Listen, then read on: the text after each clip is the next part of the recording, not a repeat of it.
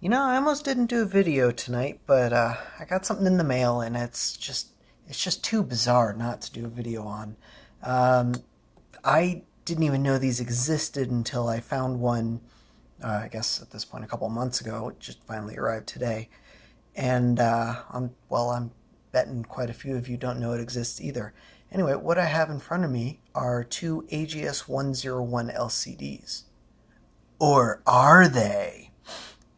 So on the right here is a uh, is an aftermarket AGS 101 LCD, uh, the same type that you'd use in a um, Game Boy Advance backlight mod. This one is damaged. I think I tested it a while back. It used to have a glass lens on it. I just peeled that off for the video here. It has that like green line running down the middle of it or whatever it is. Uh, but that's fine. It's good enough for uh, demonstration purposes for contrast. But the uh, real interesting thing here is what I've got on the left. So rather than putting this back together and pretending that I'm just opening it up for the first time, I already went ahead and removed the uh, metal frame and the rear cover here because I want to show you exactly what's inside this LCD. So if we flip it over, you might see something, uh, something a little bit unusual. So this is a completely different LCD that has been, ah, I forgot to turn it off again, that has been adapted for use with the Game Boy Advance. Now, for comparison, again, this LCD is already damaged, so if I totally screw it up, it's, you know, no great loss. But these things are always nerve wracking to take apart. But like the original, the front frame comes off pretty easily, in fact. Except this one looks like it's glued together or something. That can't be good, but that's okay. Really not too concerned about it. I'd like to not completely destroy it just for sake of having a test part or something, you know? But if that's what it comes to. Okay.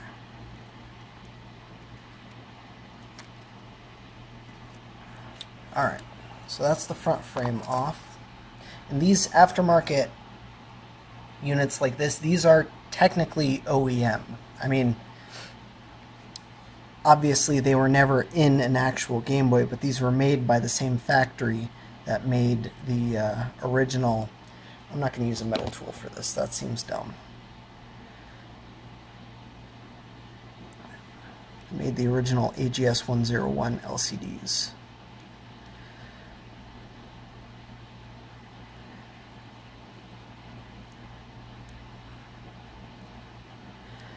Now, I highly recommend against taking apart your LCD just for shits and giggles. But I think this one is uh, destined for.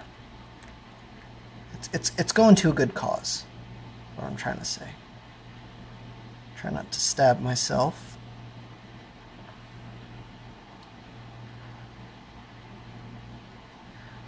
Now I'm going to be real careful about taking this apart because once you've got the back off, it, that's where it gets a little bit uh, dicey. So on the AGS 101 LCDs, I'll show you a way to tell these apart very easily without even taking them apart in just a second here. Just trying to get this shielding off.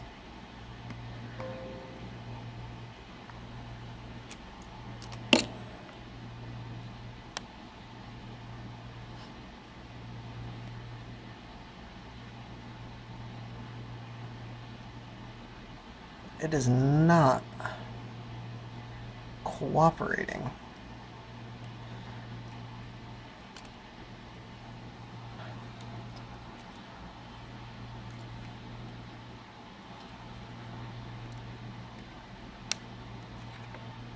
Alright, got that clip released.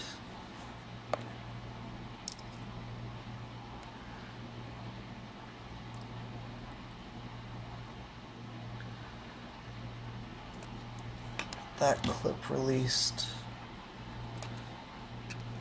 There we go. Alright, so as we can see, I've got the rear shielding off. It's just white back here. What this is, this is basically the backlight and there's a whole bunch of different layers that I really want to try avoiding touching with my bare fingers, but might come to that. Flip that up, and you can see the reflector, backlight down there, etc. I'm not going to take this apart too much further because I haven't ruined this thing quite yet, and it is still somewhat usable. Let me put that back on. Alright.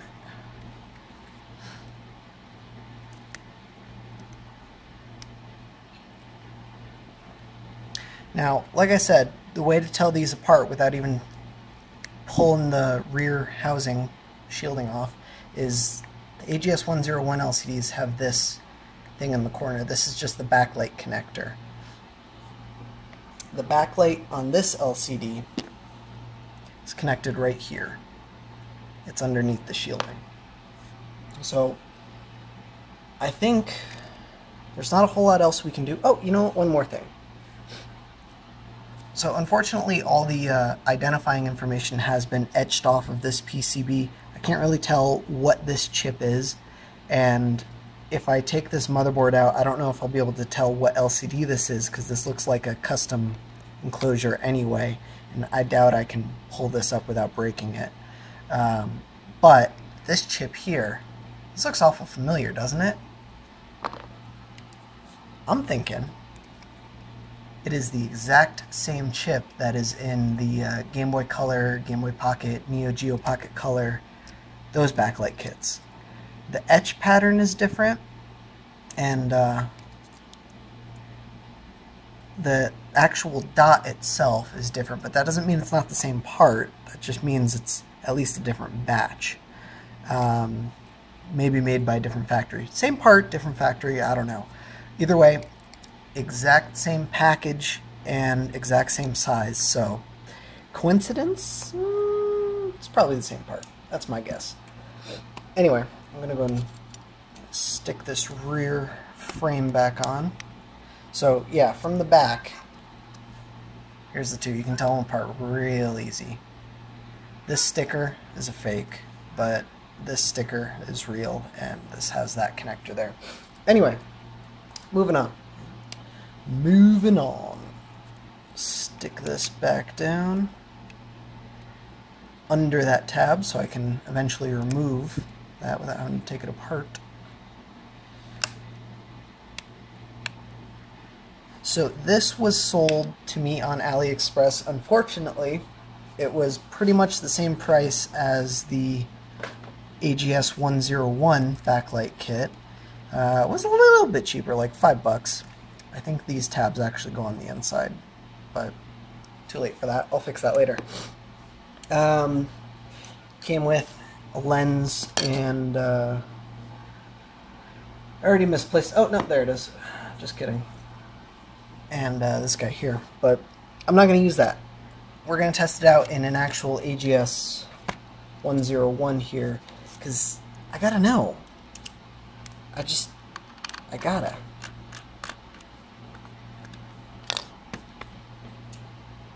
Bear with me while I take this apart. Sorry for not being completely prepared ahead of time, but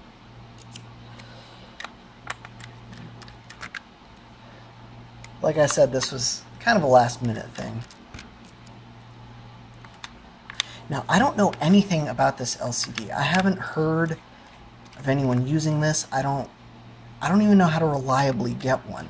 All I have is the listing that I purchased it from, which of course I'll link down below. And the exact same listing sold these LCDs as well. So, you know, I, I don't know if it's a limited supply thing or, you know, I know for a fact these are cheaper to make. They're just being upsold at such a high price to take advantage of the uh, price that the other LCD this one commands. And um, quite frankly, buying an AGS 101 LCD in 2020 or whenever you watch this video. It's, it's just not a wise decision. There are better kits you can get for way cheaper. Oh, actually, let me let me put one of these in because we can do a power usage test as well.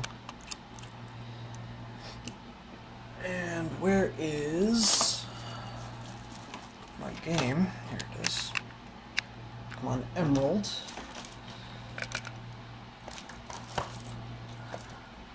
It's my power supply here. It's a little bit high on the voltage side.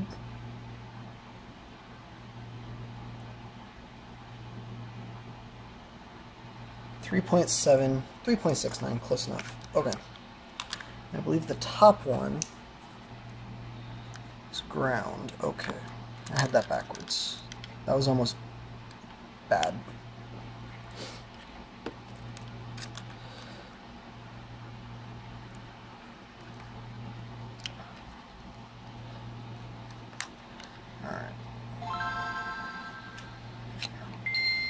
On an AGS 101 on low brightness with a legit Pokemon Emerald, not a bootleg or a flashcard or anything.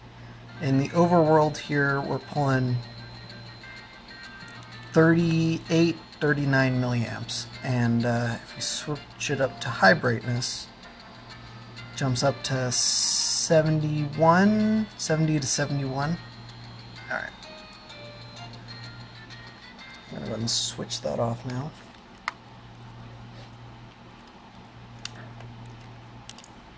And for you weirdos that care, this is a CPU AGB B revision.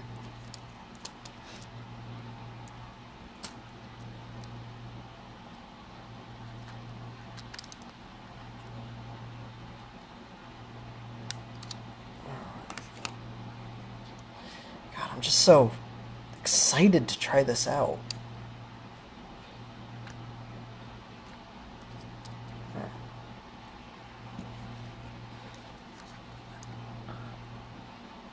Hopefully there's no weird gotcha with this. Like it only works with AGBs or something and not AGS 101s. That would be bizarre. I'm just double checking.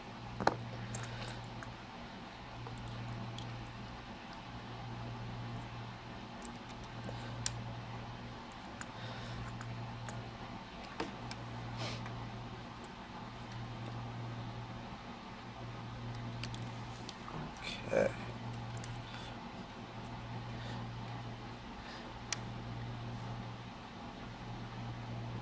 Oh, look at that. It works. I don't know why, but I kind of didn't expect it to work. Oh, let me move that so you can see the power usage. So, it's already way more.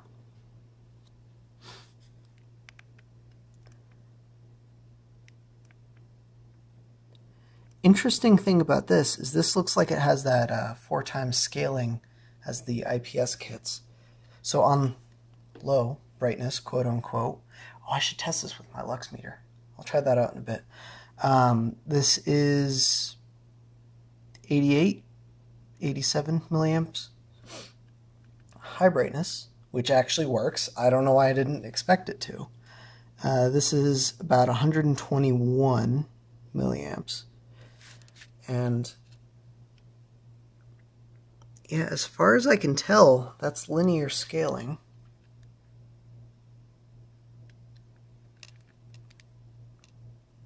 And I'm not seeing any frame drops, but quite frankly, it's really hard to tell without being able to pick this thing up. So I'm going to swap out to my flashcard here.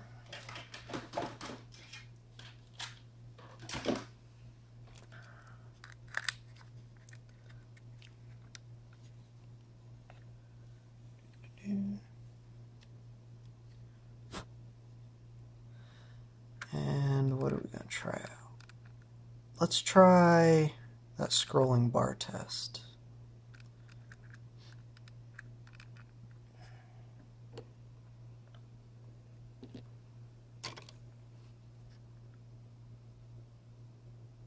Wow. This is very nice. Very smooth. I don't see any frame tearing. And uh, of course, it does drop that one frame when the first S in scroll, well, the only S in scrolling, goes off the left frame. Uh, what happens is the ROM issues an LCD reset command. And um, quite frankly, no mod kits and no original Game Boy screens handle that reset command very gracefully. In this case, we're dropping a frame, but that's about it. Wow, this is nice. This is actually a really nice LCD.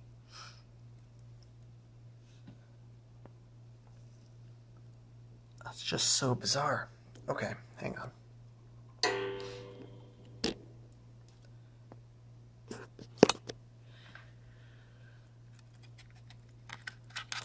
Gonna pull the game out, just boot it up to that screen there.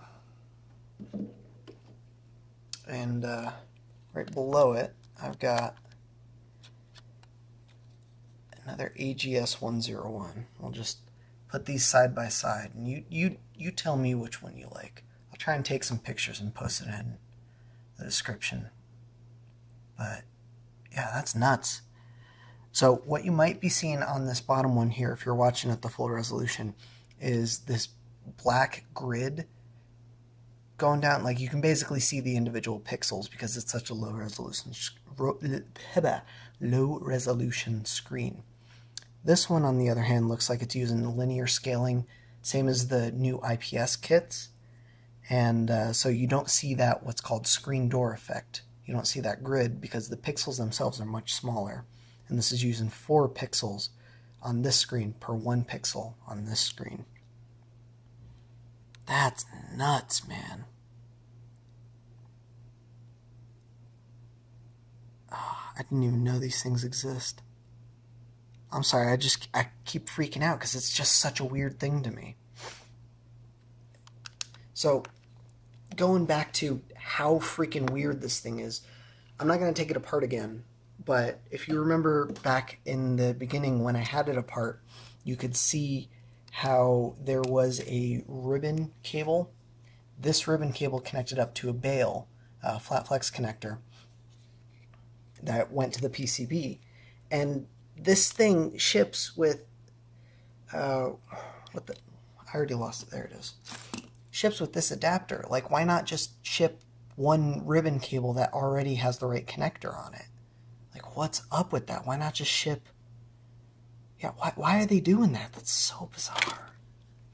But yeah, there you go. How freaking weird is that? Um yeah, I'm gonna go ahead and cut off the video here. Let me know your thoughts on this thing. Uh, that's just so bizarre. I, I think I'll put this in a Game Boy Advance SP. I guess I'll do an AGS uh, 001 to 101 bid now, and I don't know. I don't know. It's just it caught me completely by surprise. I didn't expect it to work as well as it does. I didn't. I didn't even expect to get one, quite frankly. But yeah, I'll go make sure you read the description. I always try and post uh, a lot of cool shit in the description uh, links, sources, extra fun facts, stuff like that. Uh, TLDRs, even if you can't get over the length of my videos. Uh, but yeah, I'll go ahead and post some more pictures. I'll take some measurements. I will. Uh, I'll add this to my spreadsheet with all my power usage measurements and uh, lux measurements. You know, brightness. And yeah, this, is just so cool. All right. Thanks, guys. Have a good night. Addendum, because inquiring minds have to know. I got my Game Boy Color here. This is the El Clono, quote unquote, the BennVenn original AGS 101 backlight mod Game Boy Color. Uh, this one in particular has an, a Cerakoted aluminum shell. But let's test the screen with it, yeah? So bear with me just a minute. I could have decided to think ahead and take this apart ahead of time, but planning ahead is for suckers and people who actually make money off of YouTube. For some reason, I used hex head screws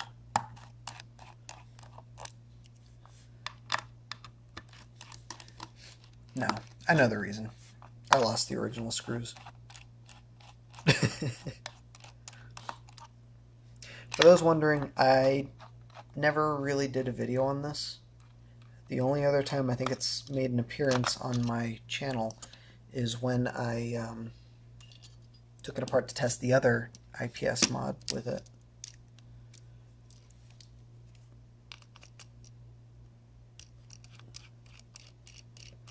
And even then, the video got fucked up. Lost a lot of footage. But it's okay.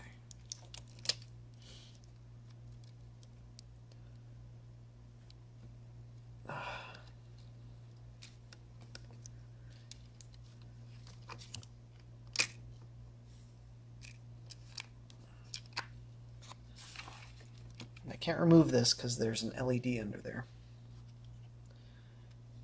That's okay. Does this go? I think that goes like this. Someone correct me if I'm wrong. I don't think this is going to work, to be clear. But I'm trying to anyway because, like I said, inquiring minds got to know.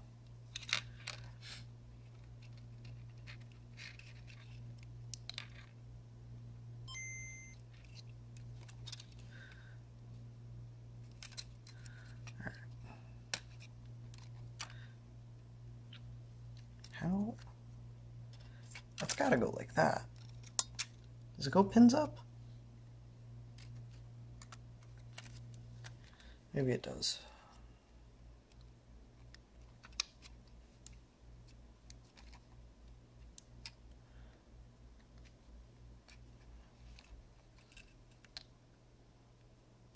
Eh, either way, nothing. I didn't think it would work, but I had to know. Try this.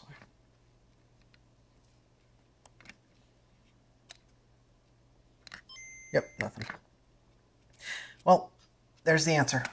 Didn't think it would work. And to be clear, even if it did work, the um, the other IPS mod, this one, would have been better. Anyway, just bigger image. But now we know. Thanks for watching, guys. Have a good night.